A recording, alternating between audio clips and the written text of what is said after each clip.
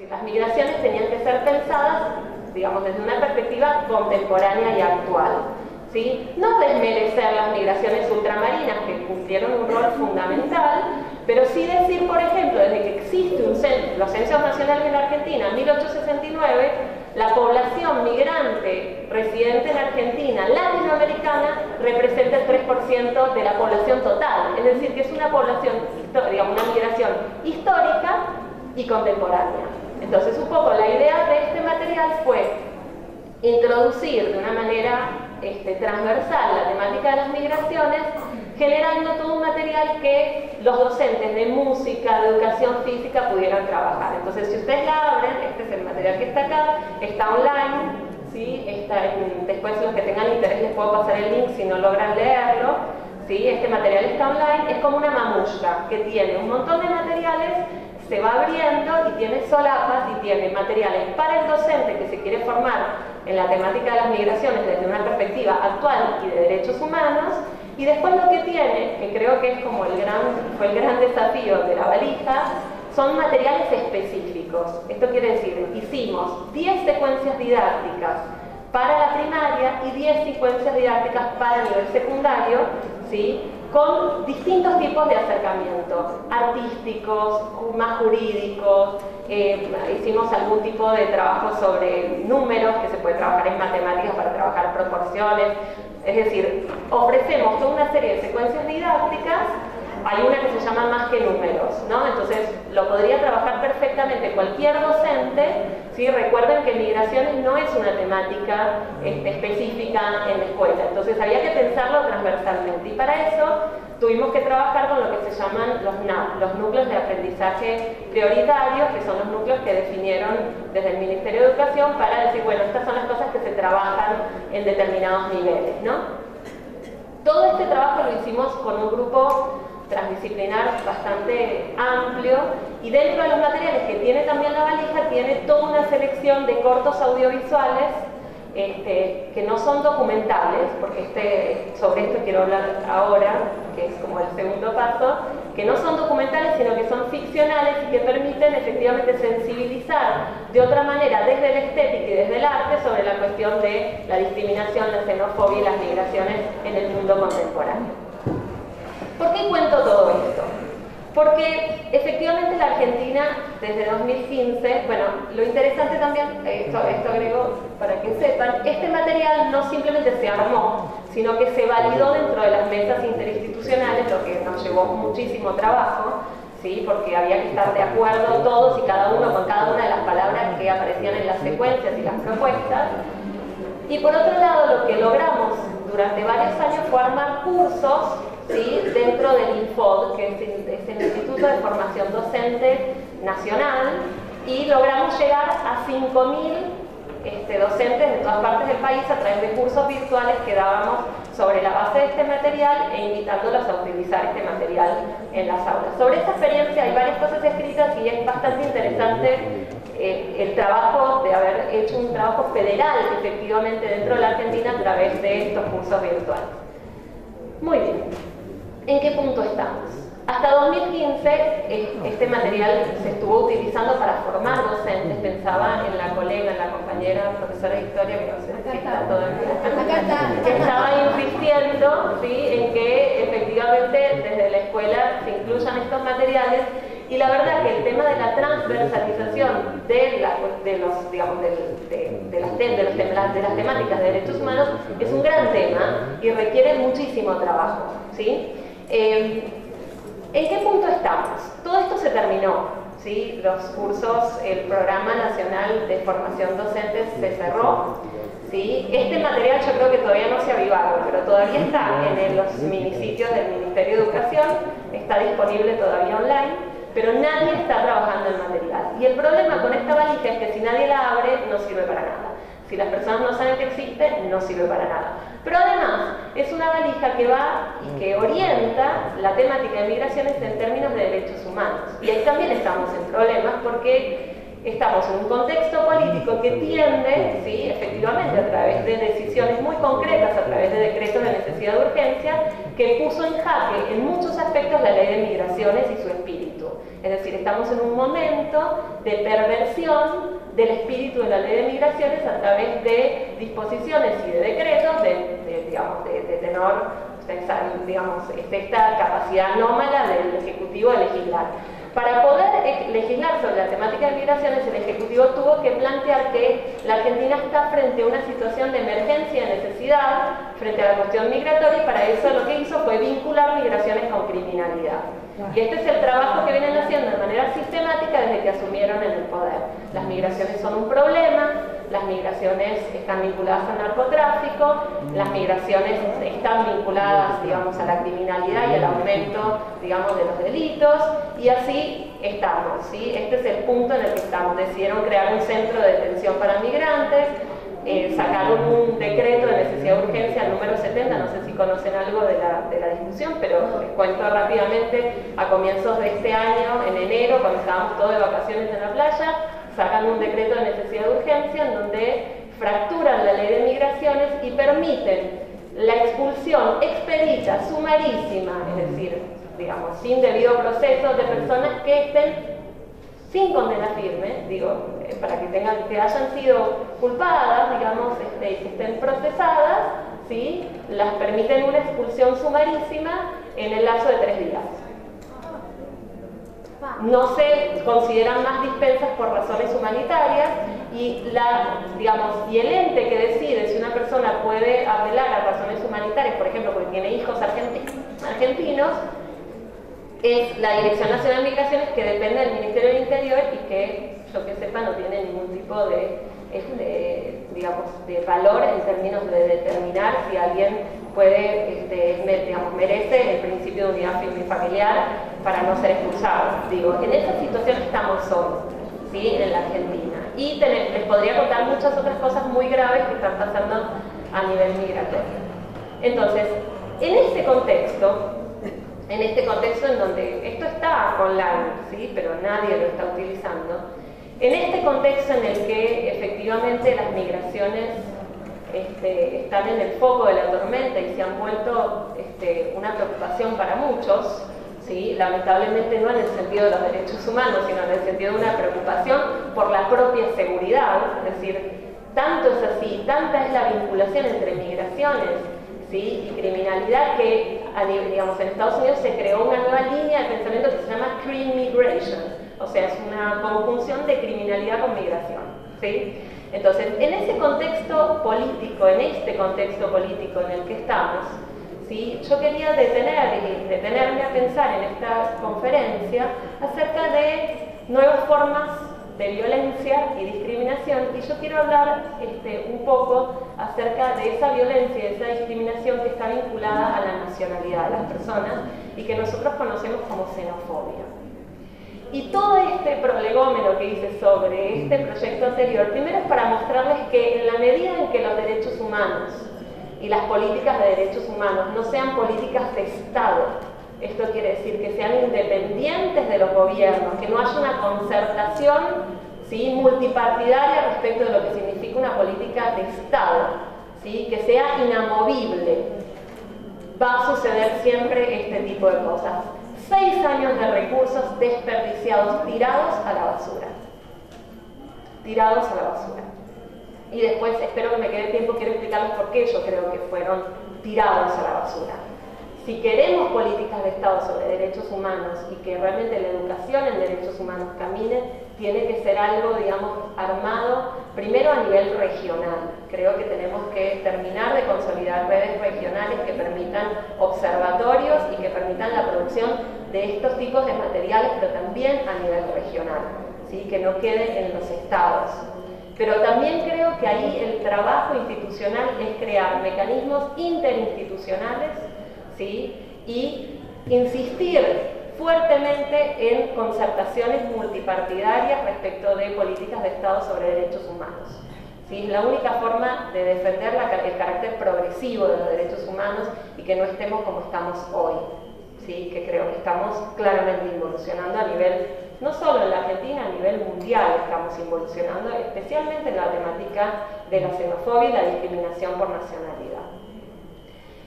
Entonces, ¿cuál sería el diagnóstico y cómo podemos avanzar y qué cosas puedo, digamos, aportar a un encuentro como este? Lo primero que quiero decir es que yo creo que eh, los paradigmas con los que trabajamos son paradigmas que han quedado obsoletos.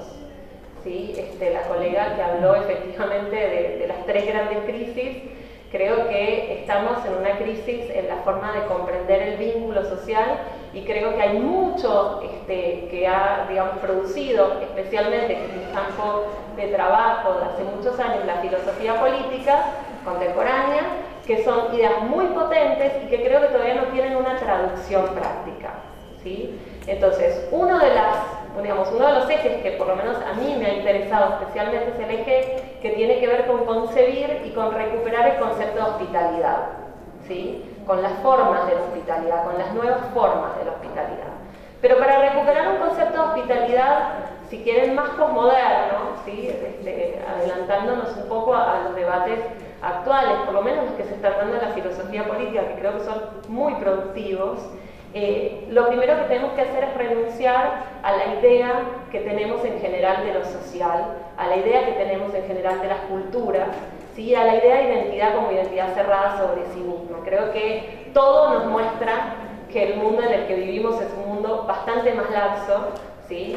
Eh, que las identidades, los procesos de construcción de identidades son procesos históricos, arbitrarios, violentos, ¿sí? y al asumir esto también estamos diciendo, bueno, si son históricos, ¿sí? si son artificiales, también podemos intervenir ¿sí? para volverlos más maleables, para volverlos más hospitalarios, para volverlos más abiertos. Es decir, no debería ser una tragedia es como si uno quisiera contener una realidad que avanza, mostrándonos que las fronteras se desdibujan, estamos en momentos de pasaje de fronteras, por más muros que quieran este, subir, digamos, y levantar, esta es la realidad. La realidad es que nuestras sociedades se vuelven sociedades muy fluctuantes, que las identidades no están cerradas sobre sí mismas, y uno debería preguntarse entonces también, ¿por qué vivirlo como una tragedia? ¿no? Y, acá es donde quiero como hacer mi aporte en términos de otro tipo de visión sobre lo social. Yo creo que tenemos como dos grandes cuestiones. Una cuestión tiene que ver con poder revincular y, este, y en este sentido creo que esto es lo que está faltando. Todos los problemas vinculados a derechos humanos y a toda la gente que por alguna razón necesita otro tipo de protección que no es la protección del ciudadano, sino que es la protección de aquellos que por alguna razón se hallan fuera de lugar, ¿sí? por cualquier razón. Y creo que hemos perdido la capacidad de tener un pensamiento crítico. Es decir, repetimos como loros que hay causas estructurales, que el problema es la economía global, pero la realidad es que eso es como una especie de pequeño este, pivot en todo documento sobre derechos humanos y después nos dedicamos a trabajar ¿sí? con lo que tenemos. Con lo que tenemos es con un nivel jurídico ¿sí? que requiere una interpretación, una interpretación cada vez más osada, ¿sí? que, ponga, que pueda ser crítico, pero que al mismo tiempo recupere los valores universales que están este, contenidos en las fórmulas de los derechos humanos, pero al mismo tiempo estamos ¿sí? con una dificultad para terminar de entender que si el problema es global, si el problema es mundial, si, si la economía funciona de manera global, digamos, repartiendo miserias por doquier, digamos, y concentrando los beneficios en poquísimas manos, la verdad es que por más que, digo, en el caso de migraciones es tan paradigmático lo que estoy diciendo, ¿sí? el, el caso específico de la crisis de refugiados es una crisis que no se puede pensar si no se piensa en términos de crisis estructural, económica y de reajuste del neoliberalismo a nivel mundial. Entonces uno quiere como poner eh, el problema de las cuotas, ¿sí? ¿Quién recibe a los refugiados? Y en realidad lo que deberíamos hacer, y lo que efectivamente muchos de nosotros estamos haciendo, es dar otro tipo de debates. Y por ejemplo, no solo hablar del derecho a migrar, sino también del derecho a no migrar, ¿sí? Y de las fórmulas que hacen que las personas sean expulsadas sistemáticamente de sus países. Entonces, a nivel regional, por ejemplo, una de las discusiones más importantes, y esto es lo que todavía no se entiende, es que la temática de las migraciones es una temática que tiene que ver con la forma y con una puesta en cuestión del Estado-Nación. ¿sí? Por supuesto que son los Estados-naciones los que por ahora, digamos, destinan recursos, pero no debería ser digamos, simplemente así. Digo, tenemos a nivel regional una oportunidad efectivamente de volvernos a juntar y decir, bueno, en la medida, digo, estoy pensando en los debates reaccionarios que estamos teniendo en la Argentina respecto de la llegada masiva de migrantes, la presencia de migrantes en las universidades públicas, la presencia de migrantes en los servicios de salud. Entonces uno puede tapar ¿sí? el sol con un dedo o con una mano y decir, bueno, no, el problema no está, ¿sí? y tener una política totalmente hipócrita de fronteras abiertas que lo único que termina es exacerbando los rencores de las clases digamos, populares, que también tienen sus dificultades en los propios países, o podemos dar un debate real, regional, acerca de qué es lo que tiene que hacer una región para resolver sus problemas estructurales. Entonces, por ejemplo, algo que no se discute a nivel regional es, en la medida en que Chile, por ejemplo, no resuelve su problema de educación este, superior gratuita, lo transfiere a otros países.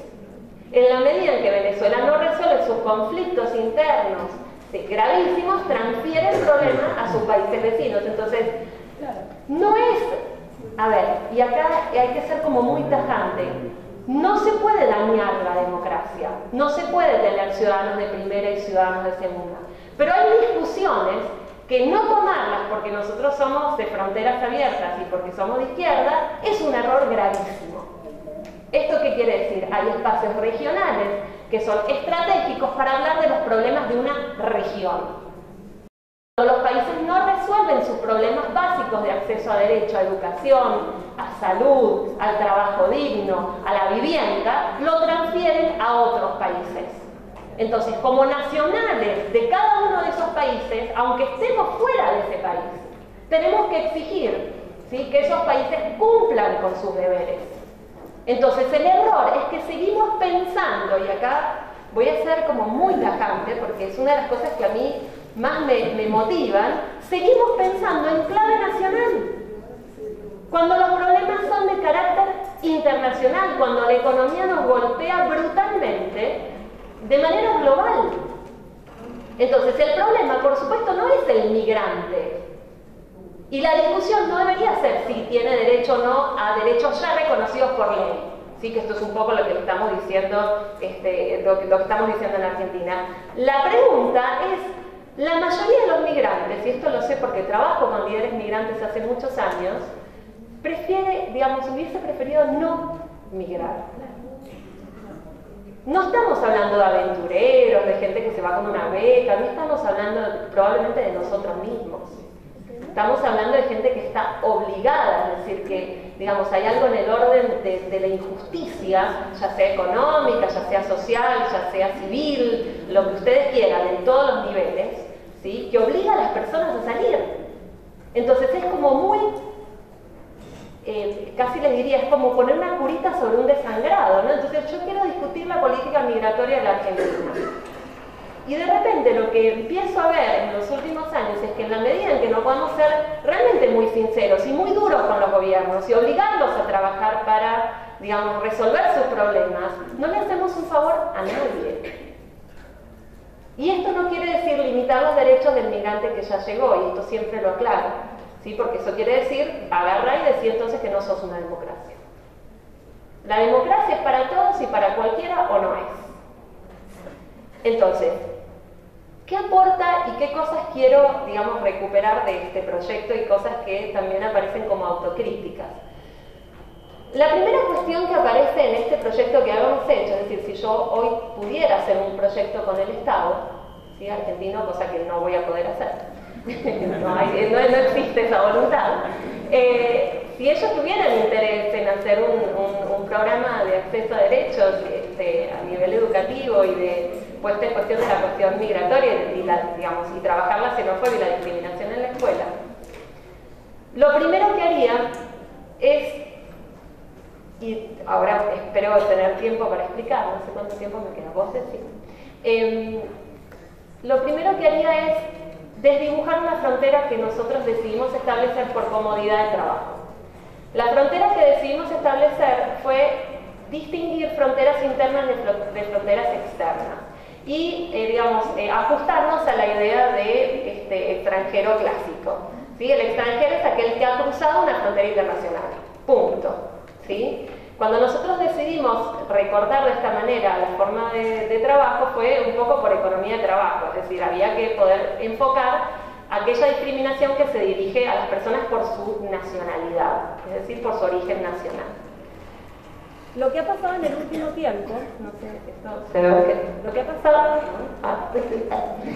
lo que ha pasado en el último tiempo y creo que esto se manifiesta de manera cada vez más este, patente. Acá se habló del caso Maldonado y, y lo voy a utilizar para explicar por qué creo que fue un error establecer esa frontera es que en Argentina uno de los grandes temas a deconstruir, a desarmar, es la idea de que somos una nación blanca y europea. ¿No? Que fue un poco el motivo de armar esta valija y de trabajar de otra manera la migración. El tema es que lo decimos al principio y después no lo volvimos a trabajar. Y el tema es el siguiente. Como no hay investigaciones efectivas de, por ejemplo, cuál es la presencia migrante dentro de los servicios públicos, ¿sí? Esa, es el ojómetro, que el ojómetro es discriminatorio. Entonces, cualquiera que no se ajusta a mi parámetro de blanco europeo es extranjero. ¿sí? Entonces, la pregunta es, ¿es extranjero?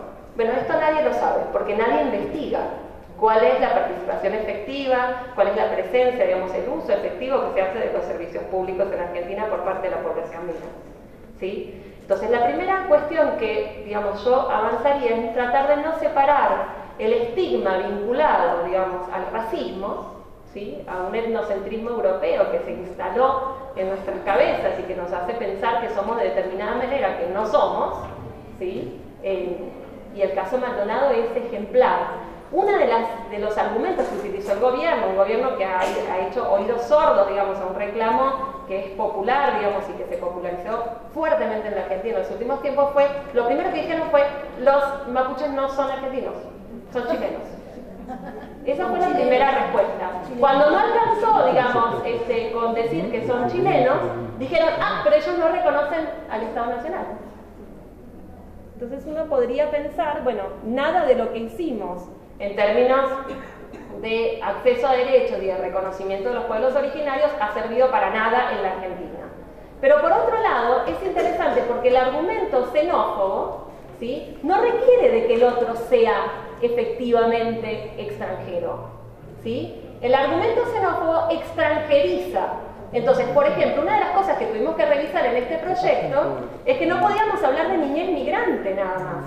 Porque el problema era que los niños argentinos, porque era por el principio de derecho del suelo, eran argentinos, sufrían el estigma y la discriminación porque sus padres eran bolivianos, paraguayos, peruanos. Entonces, no, digo, la, categoría la tuvimos que cambiar y decir, bueno, no estamos frente a un problema o frente al acceso de la niñez migrante en Argentina. No, estamos frente al problema del acceso a los derechos de la niñez en un contexto migratorio, estigmatizante, racista, etnocéntrico. ¿Se entiende? Entonces, tuvimos que cambiar el parámetro. Entonces, la primera crítica que le haría, digamos, a este material es haber intentado distinguir, separar fronteras internas de la nación argentina, de la forma en que se ha concebido la nación argentina, la dejo, ¿sí? ¿Me escuchan bien? No, no, no. Hola, hola, hola. No, es que de a ratos tarde y de a ratos no. Eh, esta es el primer, este, la primera autocrítica. La segunda eh, autocrítica tendría que ver con este,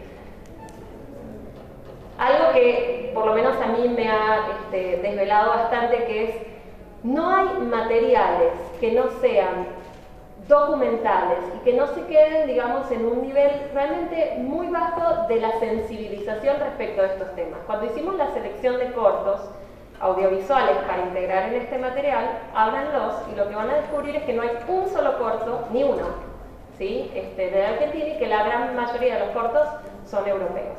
¿sí? Tienen que, son cortos que se hicieron en España o en Francia. Y esto fue una vacancia que ya sufrimos cuando armamos el material y dijimos, bueno, hay que trabajar para este, avanzar en una estética de la hospitalidad, es decir, para acercarnos desde un nivel de sensibilidad que no es lo racional, sino las formas en que uno puede incomodar a un espectador desde otro lugar y conmoverlo, ¿sí? que efectivamente eh, no, estamos muy rezagados. ¿sí? Tenemos mucho documental en donde se le da el micrófono a la víctima, al oprimido, pero no hay una composición inteligente, estética, que permita algún tipo de trabajo de sensibilización que no pase por la mera escucha ¿sí? racional de las razones del otro. ¿no? Entonces ahí como esa es otra dimensión.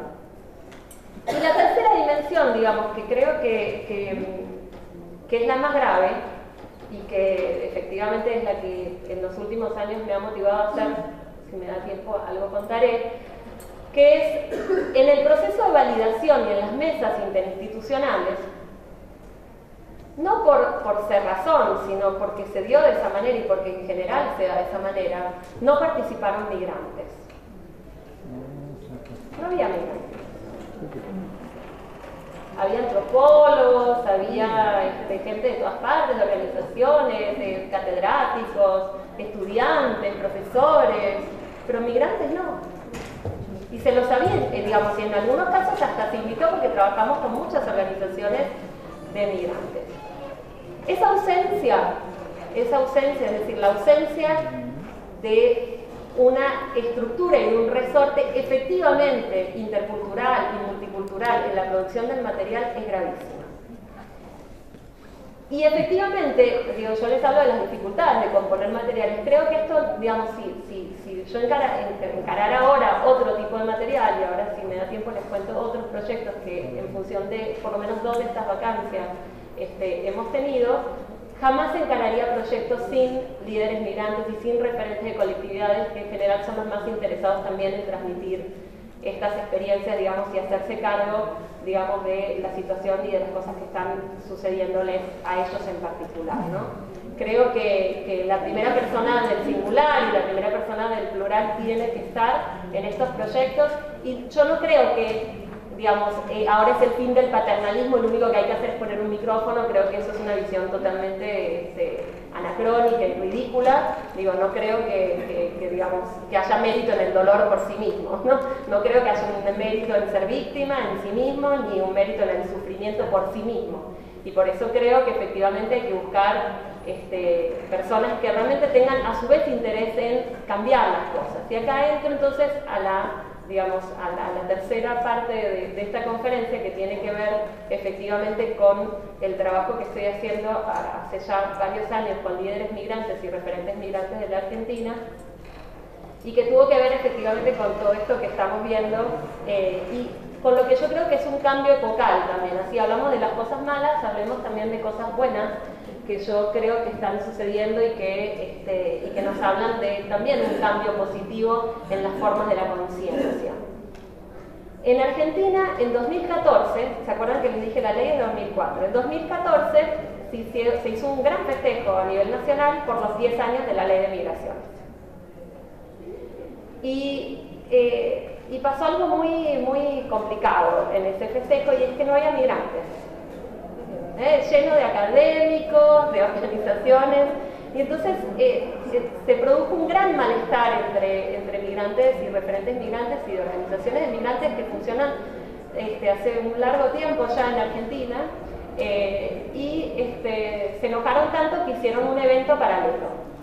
Y a partir de ese evento paralelo, que lo organizaron en Neuquén, que también es interesante porque lo que decidieron es que nunca jamás van a pisar capital federal, sino que van a mantener una federalidad, un federalismo real, digamos, a la hora de componer su espacio, se juntaron más de 200 referentes y líderes migrantes de la Argentina, de todas las nacionalidades, en Neuquén para festejar conmemorar y criticar la ley de migraciones a 10 años de su sanción, porque había efectivamente una brecha bastante importante entre el dicho y el hecho, es decir, teníamos una ley fantástica, pero en términos de su aplicación quedaban muchas cosas por hacer.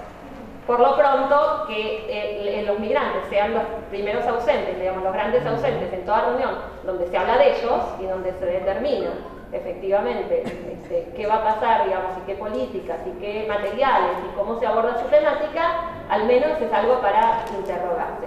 Entonces, a partir de 2014 se arma una red, que yo vengo apoyando fuertemente y que, me interesa particularmente en la Argentina por la forma en que decidieron organizarse y porque además surge de un enojo, me parece divertido que se enojaron y se organizaron, eh, que se llama Red Nacional de Líderes Migrantes. Esta Red Nacional de Líderes Migrantes eh, tiene un lema y es se terminó el paternalismo. Digo, para los que trabajamos hace muchos años derechos humanos con las mejores intenciones, la verdad es que si esto no te duele un poco en el corazón, estamos un poquito mal.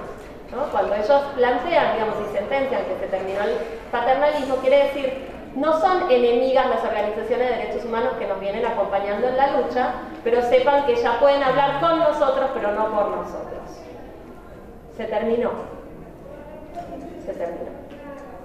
Entonces, gran parte de los proyectos que efectivamente desde 2015, que además la cosa se puso muy complicada, hay un lema famoso este, chino que dice ojalá te toque vivir tiempos interesantes. Yo creo que este, como una sentencia, creo que es como una amenaza, este definitivamente es interesante, veremos si vale la pena vivirlo, si transitarlo. Pero lo que está sucediendo en Argentina, efectivamente, desde 2014, es que los referentes y los líderes migrantes realmente están ocupando y se están, digamos, moviendo de una manera en donde ya no hay mediación, no hay una mediación por parte de organizaciones de derechos humanos nacionales que, digamos, abogan por sus derechos, sino que es de una manera muchísimo más concertada. ¿sí? Y básicamente lo que creo que han logrado es separar eh, de manera muy inteligente ciudadanía de nacionalidad, se están exigiendo que la ciudadanía también considere a aquellos que efectivamente habitan y este, contribuyen con un país, ¿sí? pensar una ciudadanía desde la residencia, digo, están peleando por los derechos políticos hace muchos, hace muchos años, ¿sí? ahora van a tener su cuarto encuentro nacional, hacen un encuentro todos los años, este, ahora va a ser el cuarto encuentro nacional y va a estar dedicado íntegramente a derechos políticos, ¿sí? que es como casi les diría que del abanico de derechos que en general se le reconocen al migrante, los derechos políticos claramente no entran dentro de ese abanico. Eh, y la verdad es que empiezan a suceder entonces toda una serie de cuestiones que hablan de una vitalidad. Y para mí la vitalidad está en el siguiente punto. Cuando ellos se definen, cuando ellos se definen, cuando los líderes migrantes se definen, lo que plantean es que ellos no son sujetos de derecho. Porque el sujeto de derecho es aquel que, digamos, se reconoce y es reconocido, digamos, en un estado digamos, normativo específico, coyuntural y específico, ¿sí? en un momento histórico determinado. Cuando ellos se definen, se definen como sujetos políticos.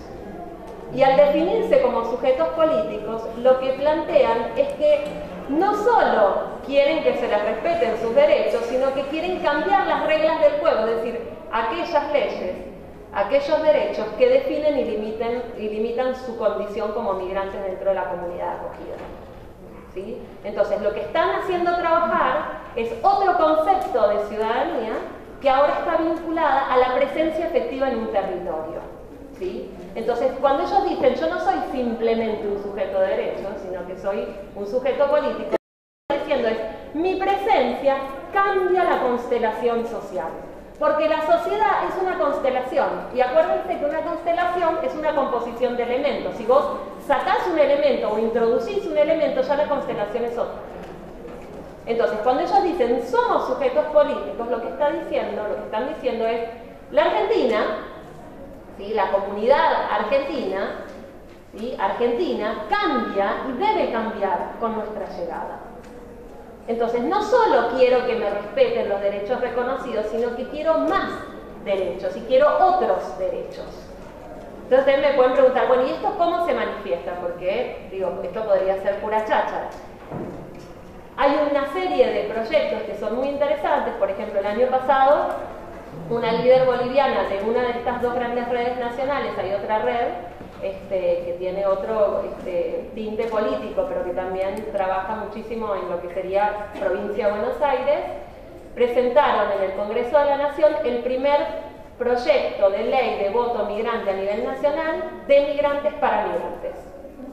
se presentó dentro del recinto, digamos, del de, este, Congreso de la Nación. Es un proyecto escrito íntegramente ¿sí? Por este, líderes migrantes en Argentina, exigiendo su derecho al voto. La realidad, sí, es que en Argentina ese derecho no está reconocido. Entonces, ellos como sujetos políticos son mucho más que un sujeto de derechos. Y en ese sentido es interesante porque lo que hacen es caminar, hacer caminar, si se quiere, otro tipo de ciudadanía, una ciudadanía vinculada más a los derechos humanos, ¿sí? vinculada más a la presencia, que se desvincula de la nacionalidad. Y en este sentido quiero entonces este, poner el cuarto este, punto de, la conferencia, que tiene que ver efectivamente con el rol de lo que creo que se pueden llamar las estéticas de la hospitalidad o la búsqueda de otro tipo de, este, de lenguaje para hablar de esta idea de constelación social. ¿sí?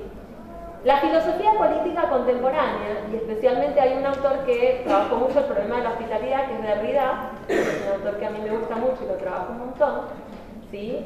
Van a decir, va a decir algo que a mí me parece muy potente, y es lo siguiente. No se trata de integrar, ¿sí? no se trata de hacer un lugar al otro en la lógica de la tolerancia, sino de asumir que ya el otro siempre ya estuvo aquí, ya habría llegado.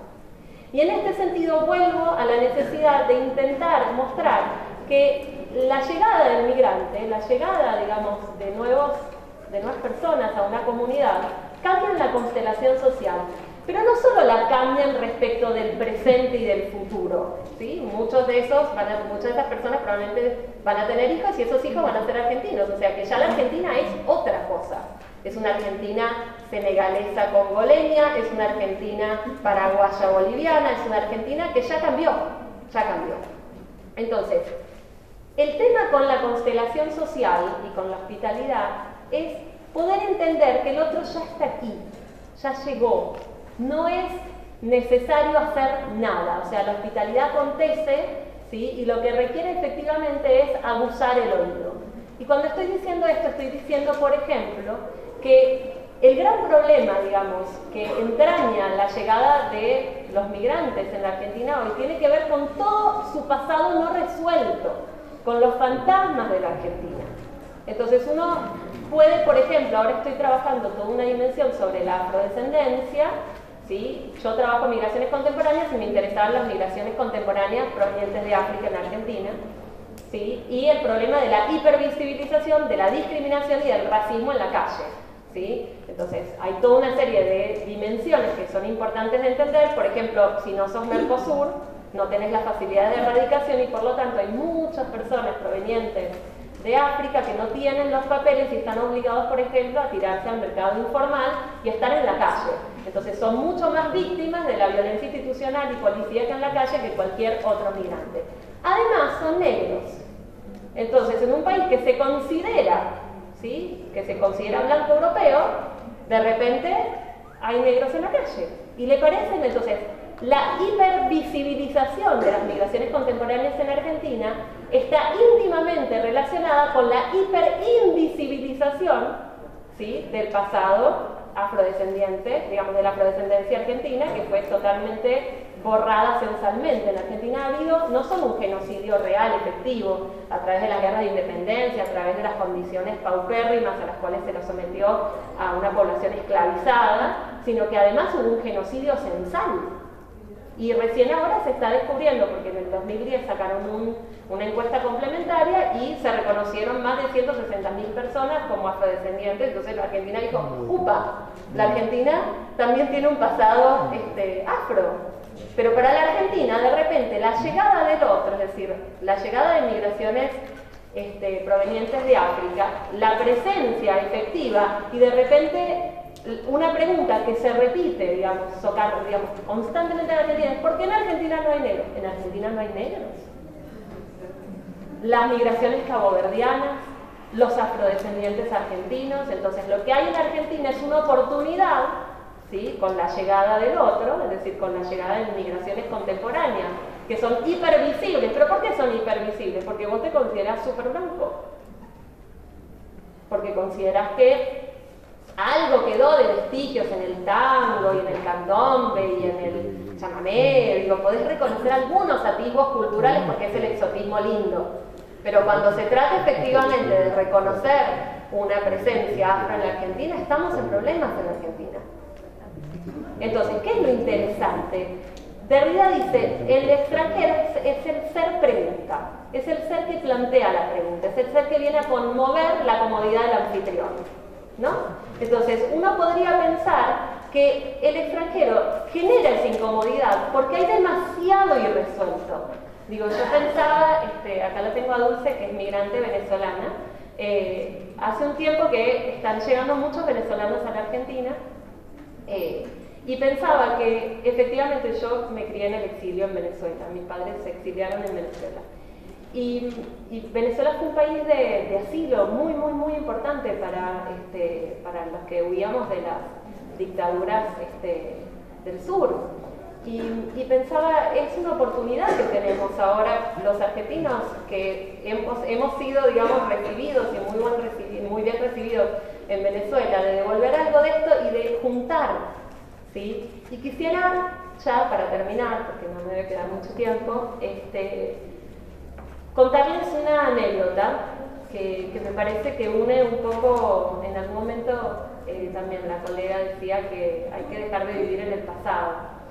Yo no sé si hay que dejar de vivir en el pasado porque el pasado duele y pesa, ¿sí? Y los fantasmas que no se trabajan reaparecen de las formas muy, muy, muy amorfas y perversas. O sea que mejor conjurarlos, es decir, traerlos, trabajarlos. Eh, no sé si lo conocen al este, artista plástico, al escultor Anish Kapoor, él hizo, este, es, un, es, un, es un escultor indio que tiene una historia personal muy interesante porque es de familia judía, pero al mismo tiempo de, criado en la India, de mamá refugiada pakistaní en la India. Bueno, tiene una historia personal muy interesante y vivió mucho tiempo en Israel y después se instala en Londres y tiene instalaciones gigantes. Y es una persona que ha tenido como mucha participación en este, los movimientos artísticos pro refugiados sirios en Europa. Participa de las, ha participado de las marchas del silencio, no sé si conocen, pero es, un personaje muy interesante y por sobre todas las cosas es un artista increíble. Y él armó, decidió, él, él, está armando distintas exposiciones en lugares muy paradigmáticos de cada ciudad, que tiene que ver también con espacio de memoria, y armó una exposición que se llama Desarraigo en el Parque de la Memoria en Argentina. El Parque de la Memoria, no sé si lo conocen, es un parque que se erigió en memoria de los desaparecidos, es como un gran mausoleo y tiene los nombres de los 30.000 desaparecidos en tres grandes placas que suben sobre una esplanada y al lado del río porque efectivamente tenían la cuestión simbólica de que no hay cuerpos y que fueron arrojados al río y por lo tanto ese parque tenía que estar también a la vera del río, ¿no? Como también una parte de, recomponer, digamos, esa ausencia y armó una exposición que se llama Desarraigo dentro del Parque de la Memoria. Y nos pidieron, este, me pidieron a mí, con gente del CERS, del Centro de Estudios Legales y Sociales, que ha tenido un compromiso muy importante con todo lo que es verdad, memoria y justicia. Están llevando a cabo, por ejemplo, están representando a la familia Maldonado, en el caso Maldonado.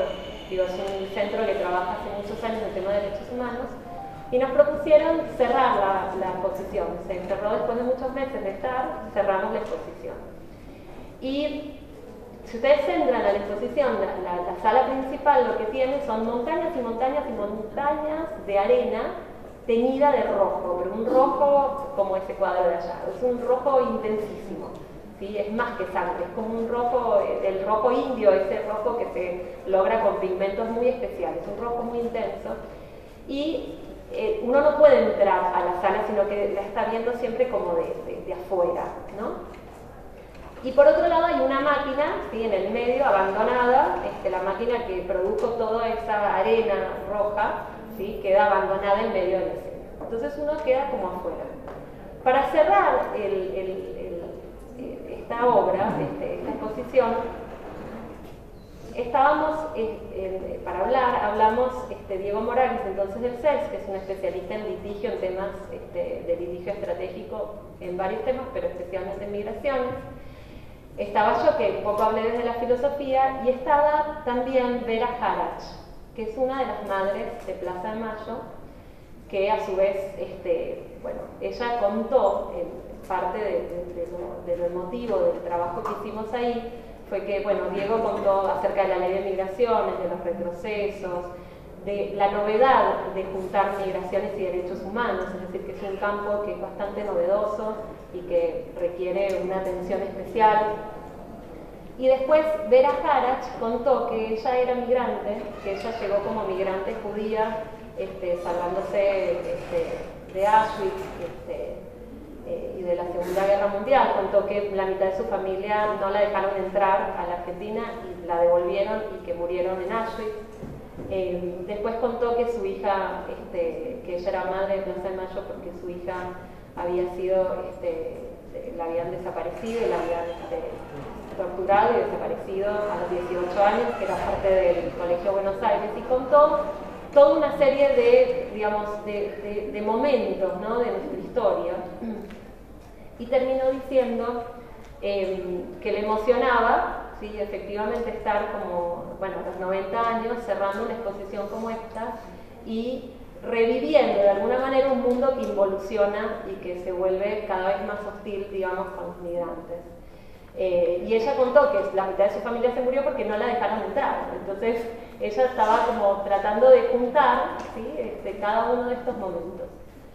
Cuando termina de hablar, yo vuelvo a observar la exposición y lo que había eran montañas y montañas de arena, eh, de, tierra teñida de rojo. Entonces, Capur dice, yo no tengo ningún mensaje para el mundo, no lo tengo, ¿sí? cada uno le dará el sentido que le quiera dar, pero elige lugares como el Parque de la Memoria para hacer sus obras.